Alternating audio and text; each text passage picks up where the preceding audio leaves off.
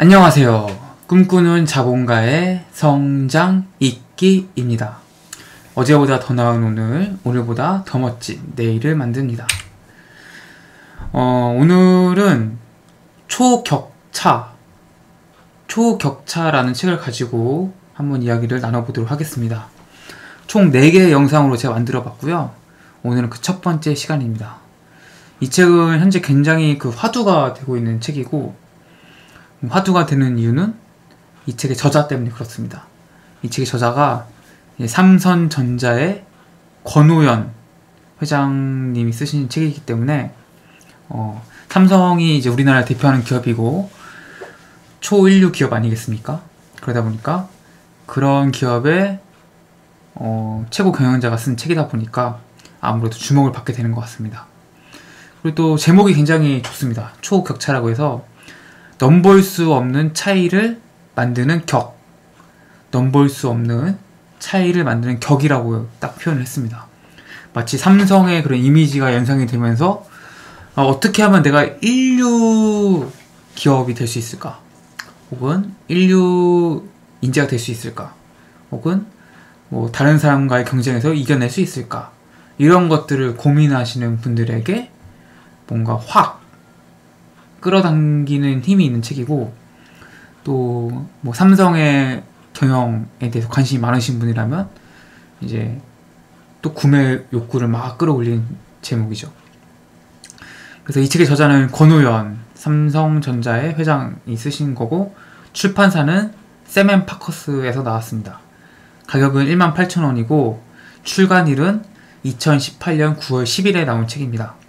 쪽수는 336쪽으로 뭐 그냥 보통의 책 정도 되는 책입니다. 그래서 여기서 우리는 이제 리더십에 대해서 주로 얘기를 합니다. 어, 주로 이제 권우영 회장님이 자신의 그런 회사 생활을 토대로 리더십에 대해서 생각해 왔던 바들을 예, 이야기를 나누는데 아무래도 뭐 삼성이라는 그런 경력이 있다 보니까 확실히 뭔가 같은 말을 하더라도 더 설득력이 있게 다가오는 건 분명한 것 같습니다. 그래서 오늘 이제 이야기를 나눠볼 것은 크게 네 가지인데 첫 번째가 삼성 반도체인의 신조 두 번째가 변화하지 않으면 죽는다 세 번째가 리더는 환경의 영향을 많이 받는다 네 번째가 리더가 갖춰야 할 덕목 이 네 가지를 한번 가지고 이야기를 나눠보도록 하겠습니다. 어, 책이 있으신 분들은 페이지 14쪽입니다. 삼성 반도체인의 신조 당시 저를 포함한 모든 삼성 반도체의 임직원들은 아침마다 반도체인의 신조 10개 항목을 외치고 일을 시작했습니다. 세계 반도체 시장의 일원으로 살아남겠다는 저희의 간절한 바람이자 다짐이 아침마다 사무실에서 공장에서 울려 퍼졌습니다. 그중 두 가지 구호는 지금도 제 삶의 신조로 굳건히 자리 잡고 있습니다. 안 된다는 생각을 버려라. 큰 목표를 가져라. 이런 단순한 것에 힘이 있습니다. 그때 전 임직원이 한 목소리로 간절하게 외쳤던 아침 구호가 하나 둘 현실로 다가오는 것을 직접 목격했습니다. 정말로 안 된다는 생각을 버리고 큰 목표를 향해 끊임없이 노력하면 그 꿈이 현실이 됩니다. 삼성 반도체 사업을 막 시작할 때 이 권우영 회장님이 이제 같이 이제 시작을 하셨습니다. 그래서 이제 반도체 어떻게 보면 산 증인이 되는 건데 이 아침마다 이 삼성 반도체 임직원들이 외쳤던 뭐 신조가 10개가 있었다고 합니다. 그 중에서 두 가지가 이 권우영 회장의 삶의 신조가 되었다는 이야기인데요. 그 두 가지가 뭐였냐면 안 된다는 생각을 버려라. 큰 목표를 가져라. 이 두 가지 생각을 가지고 자신의 삶을 살아왔다는 겁니다. 정말로 이게 뭐 아무것도 아닌 것 같지만 별거 아닌 뭐 메시지인 것 같지만 이런 단순한 메시지에는 힘이 있다라는 게 이제 권우영 회장의 이야기입니다. 그래서 이 아침고를 매일 한 목소리로 같이 외치던 것이 정말로 하나둘 현실로 다가오는 것을 직접 경험하고 체험하면서 정말로 안 된다는 생각을 버리고 큰 목표를 향해 끊임없이 노력하면은 정말 되는구나 라는 거를 느꼈다고 합니다. 실제로 이제 반도체 사업에 어, 삼성이 처음 한다고 했을 때 굉장히 회의적이었다고 합니다. 뭐 다른 국가에서는 물론이고 이 권호영 회장 본인 자체도 아, 정말 될까 우리나라에서? 라는 이제 그런 회의를 가졌다고 이야기를 책에서 얘기합니다. 그런데 그런 것들이 하나 둘 현실이 돼가는 걸 보면서 정말 안 되는 거 없구나. 큰 목표를 가져야겠다. 라는 생각을 했다라는 거죠. 네, 페이지 20쪽입니다. 변화하지 않으면 죽는다. 저는 이 절박함에서 비롯된 변신의 당위성을 애벌레가 번데기로 변하고 다시 그 번데기가 화려한 나비로 황골 탈퇴하는 장면으로 설명하곤 합니다. 애벌레는 번데기로, 번데기는 나비로 변신하지 않으면 생존이 불가능합니다. 애벌레가 번데기로 변해야 하는 이유는 화려한 나비가 되어 하늘을 마음껏 날기 위함입니다. 만약 아래서 깨어난 애벌레가 변신을 멈추면 어떻게 될까요? 따뜻한 곳에서 맛있는 잎사귀를 갉아먹는 것으로 만족하며 영원히 애벌레로 멈춰 있으려 한다면 어떻게 될까요? 아마 세상에서 제일 몸짓이 큰 애벌레가 될 것입니다. 살이 토실토실한 애벌레가 되겠지요. 이렇게 변신하지 않은 채 몸집만 거대해진 애벌레의 운명은 어떻게 될 것 같나요? 하늘을 날고 있던 새의 눈에 띄어 가장 먼저 잡아먹히게 될 것입니다. 그러므로 아래서 깨어난 애벌레는 변신을 멈추면 안 됩니다. 변신하지 않으면 살아남을 수 없습니다. 우리의 삶도 마찬가지입니다. 자신의 위치에 만족하면서 더 이상 변신을 멈추어 버린다면 반드시 다른 누군가에게 잡아먹히고 말 것입니다. 끊임없이 변화해야 된다는 있는 거죠. 그러니까 우리가 어, 이렇게 생각하면 될 것 같아요. 현재의 상황에서 내가 가장 완벽한 존재가 되었다고 하더라도 우리가 변신을 해야 되는 이유가 뭐냐, 뭐냐면은 상황이 바뀌니까 그래요. 상황이. 우리가 여름에 같은 경우 생각을 해봅시다. 여름에 생존하기 가장 좋은 거는 시원한 곳에 있는 거잖아요. 그래서 반팔과 반바지를 입는다고 해봅시다. 그래서 여름에 가장 완벽한 복장이에요. 반팔과 반바지. 근데 계속 여름이 되면은 상관이 없죠. 근데 겨울이 오잖아요. 겨울에 반팔과 반바지는 어떻죠? 최악의 아이템이잖아요. 이렇듯 내가 당시에는 정말 최상의 선택이고 최고의 선택일지 일지 몰라도 시간이 지나고 상황이 변화하면서 뭔가 좀 그 최고, 최상의 아이템들이 최악으로 바뀌게 된다는 이야기죠. 그래서 여기서는 이제 애벌레의 비유가 들었는데 애벌레가 번데기로 변하고 번데기가 나비가 되는데 이 애벌레가 아 나는 번데기가 어 되게 싫어. 난 나비가 되고 싶지 않아. 그래서 애벌레로 난 계속 있을래 하면은 과연 어떻게 되겠냐는 겁니다. 어, 애벌레로 계속 있으면 애벌레가 계속 몸, 몸집이 계속 커지겠죠. 몸집이 커지면 커질수록 새들한테 눈에 띌 가능성이 점점 높아지겠죠. 그러면은 생존이 점점 어려워지는 겁니다. 그래서 일정한 시기가 되면은 애벌레가 번데기로 되어야 되고 번데기가 나비가 돼서 계속 환경에 변화해 나가야 된다는 거죠. 이게 싫다고 계속 거부하면은 도태되고 죽는 거죠. 실제로 이거는 다윈의 진화론에서도 많이 나오는 이야기잖아요. 우리가 지금 뭐 공룡들 같은 경우에 지금 볼 수가 없잖아요. 공룡이 죽은 이유가 뭐죠? 많은 뭐 설들이 있지만 뭐 대표적인 거는 뭐 어쨌든 간에 변화하는 환경에 적응하지 못했기 때문이죠. 뭐 소행성의 충돌로 인해서 뭐 지구의 환경이 변했든 뭐 어떤 모든 어떤 이유든 간에 어쨌든 간에 그 공룡이라는 존재는 변화하는 환경 속에서 그 당시에는 굉장히 큰 몸집과 굉장히 큰 힘 이런 것들이 생존에 굉장히 유리한 도구였지만 뭔가 변화에 적응하는 데는 별로 좋지 않았던 거죠. 큰 몸집이나 이런 것들은 그래서 결국은 사라지고 말게 된 거죠. 반면에 인간들은 어떻습니까? 인간들은 굉장히 약하죠. 사실은 뭐 달리기가 빠르게 하나요? 뭐 힘이 세게 하나요? 뭐 아무것도 없단 말이죠. 그런데 인간은 끊임없이 도구를 개발하고 서로 의사소통을 하면서 계속 대대손손 역사를 남겨서 이런 것을 계속 기록을 남김으로써 변화에 어떻게 대처해야 되는지, 어떻게 대응해야 되는지를 계속 이어왔다는 거죠. 그래서 변화에 잘 적응했기 때문에 지금 가장 많은 숫자를 지닌 종이 된 거죠. 지구를 지배하는 종이 된 거죠. 환경에 적응한다는 건 굉장히 중요한 겁니다. 그래서 우리가 영원한 강자도, 영원한 패자도 없는 게 환경이 변화하니까. 이 사람이 지금 강자일지 몰라도 앞으로 펼쳐질 세계에서는 어떻게 될지 모르는 거죠. 그러니까 뭐, 과거에, 과거에 블로그 시대에는 파워 블로거들이 다 인터넷 세대를 쥐어잡았잖아요. 근데 지금은 어떻죠? 지금은 유튜브에 시잖아요. 유튜브를 하시는 분들이 인터넷을 이제 잡고 있단 말이에요. 이게 자꾸 화, 상황이 변하는 거죠. 근데 이런 환경의 변화, 상황의 변화 속에서 이런 변화하는 환경에 적응하지 않고 나는 SNS 안 해. 이러면은 과연 생존하는 데서 유리하겠냐? 경쟁력이 더 있겠냐? 이걸 한번 생각해 볼 만한 문제다라는 거죠.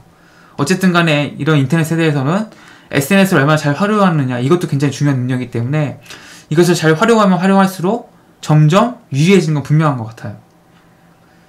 물론 잘못 이용한 경우도 있죠. 아무튼 그거는 이제 조심을 해야 되는 부분이고 아무튼 중요한 거는 우리가 변하는 환경 속에서 그 변화를 우리는 주시해야 되고 변화에 맞게 우리는 계속 적응해 나가야 된다라는 게 중요한 메시지입니다. 네, 페이지 29쪽입니다. 리더는 환경의 영향을 많이 받는다. 물론 자라오는 성장 환경을 보고 성공이나 실패의 가능성을 속단해서는 안 되겠지만 적어도 제가 경험했던 수많은 사례를 볼 때 좋지 않은 성장 환경은 리더의 자질에 부정적인 영향을 미쳤습니다. 그래서 저는 리더의 자질을 검증할 때 성장과 아, 성장 과정에서 집안이 화목했는가, 어떠한 환경에서 교육받았는가, 어떤 종류의 필요한 교육을 받았는가, 그리고 인생에서 무엇을 가장 중요한 가치로 삼는가 등의 요인을 살피는 것이 의미가 있다고 생각합니다. 특히 그 사람이 성장하는 과정에서 이기적인 판단과 선택을 자주 하지 않았는지 면밀히 검토해야 한다는 것을 강조하고 싶습니다. 이기적인 판단과 선택을 해도 용납되는 환경은 그 사람을 나쁜 리더로 만들 확률이 매우 큽니다. 자기가 한 일에 책임을 지지 않아도 되는 성장 환경이 제공되면 그 사람은 거의 100% 나쁜 리더가 될 수밖에 없습니다. 리더는 이제 이분이 이제 리더십에 대한 얘기도 많이 합니다. 이 책에서 리더라는 것은 환경의 영향을 굉장히 많이 받는다고 이분이 강조를 하세요. 그래서 이분이 자라온 환경, 이 사람이 자라온 환경이 리더가 좋은 사람이 되느냐, 나쁜 리더가 되느냐에 큰 영향을 미친다는 겁니다. 그래서 이분은 이제 리더의 자질을 검증할 때 성장 과정을 잘 본다는 거죠. 집안이 화목했는지, 어떤 환경에서 교육을 받았는지, 어떤 종류의 필요한 교육을 받았는지, 인생에서 무엇을 가장 중요한 가치로 생각하고 있는지, 이런 것들을 살펴본다는 거예요. 저는 사실 리더십에서 이런 거를 이제 본다는 건 좀 새롭게 다가왔어요. 사실 이 책에서 저는. 어찌됐든 간에 이 사람이 성장하는 과정 속에서 이 사람이 뭔가 이기적인 판단이나 자신만을 생각하는 욕심을 부린다든지 이런 것들이 있으면은 이 사람은 리더의 자리로 가서도 여전히 그런 판단을 할 가능성이 굉장히 높다라는 거죠. 우리가 이제 그런 거 많이 봤잖아요.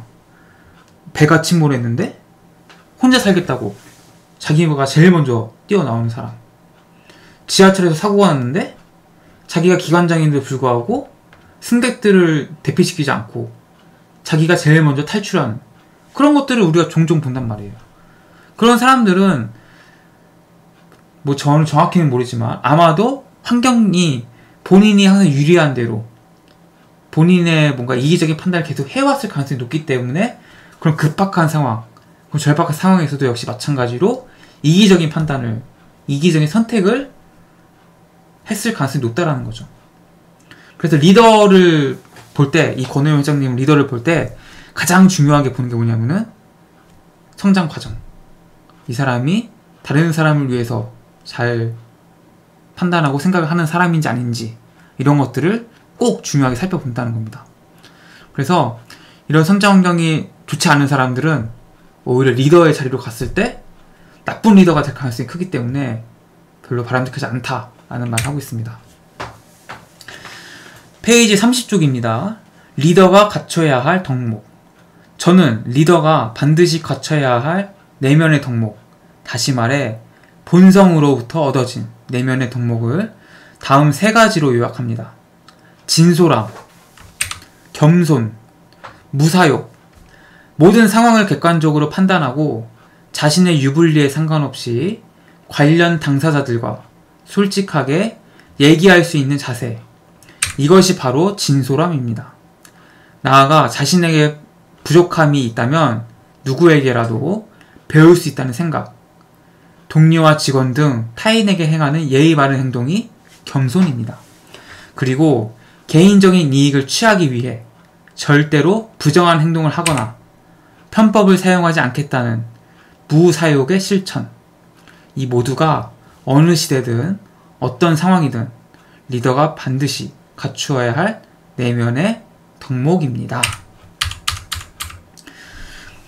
그러면은 리더라는 게 정말 환경에 영향만 많이 받느냐. 이렇게 이제 방문하시는 분이 있을 까 생각을 해요. 앞서서 환경에 대한 이야기를 했기 때문에. 성장 과정이 그렇게 중요하면은, 뭐 대체 뭐 개인의 노력이나 이런 게 뭐가 대체 중요하냐. 이미 선천적인 거 아니냐. 이미 다 결정된 거 아니냐. 라고 이제 방문하실 수 있겠지만, 이 권호영 회장님이 또 이런 말씀 하십니다. 리더가 갖춰야 할 덕목들도 있다. 환경도 중요하지만, 내면으로 갖춰야 할 덕목들이 있는데 그게 크게 세 가지라는 겁니다. 첫 번째가 진솔함, 두 번째가 겸손, 세 번째가 무사욕이다. 그래서 이 세 가지를 갖춘 성장 과정도 물론 좋아야겠지만 이 세 가지를 갖춘 사람만이 진정한 좋은 리더가 될 수 있다는 겁니다. 그래서 모든 상황을 객관적으로 판단하고 자신의 유불리에 상관없이 당사자들과 솔직하게 얘기할 수 있는 자세. 이게 진솔함이고요. 자신에게 부족함이 있다면 누구에게라도 배울 수 있다는 생각. 동료나 직원들에게 행하는 예의 바른 행동. 이게 겸손이고요. 개인적인 이익을 취하기 위해 절대로 부정한 행동을 하거나 편법을 사용하지 않겠다는 무사욕의 실천. 이 세 가지가 어느 시대든 간에 어떤 상황이든 간에 리더에게 강조되는 덕목이다. 라고 이야기하고 있습니다. 그래서 뭐 결론적인 이야기 하면은 결국 성장 과정, 성장 과정에서는 이 사람이 가진 가치관, 이 사람이 자라는 환경, 이 사람이 받은 교육, 이 사람이 뭔가 이기적인 판단을 하는 사람인지 아닌지 이런 것들을 살펴봐야 되고 더 나아가서 이 사람이 세 가지 내면적인 덕목을 갖췄느냐 그게 바로 진솔함, 겸손, 무사요 이것을 갖춘 리더만이 진짜 좋은 리더고 훌륭한 리더가 될 수 있다. 라는 말을 하고 있습니다. 네, 오늘은 권우현 회장이 쓰신 초격차, 초격차라는 책을 가지고 한번 이야기를 나눠봤습니다.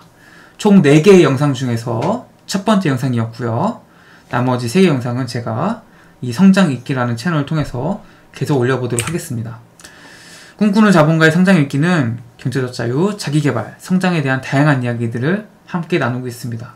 이러한 분야에 관심이 있으신 분이라면 어, 구독과 좋아요 눌러주시면 감사하겠습니다. 오늘도 함께 해주셔서 감사하고요. 저는 다음 시간에 뵙도록 하겠습니다. 고맙습니다.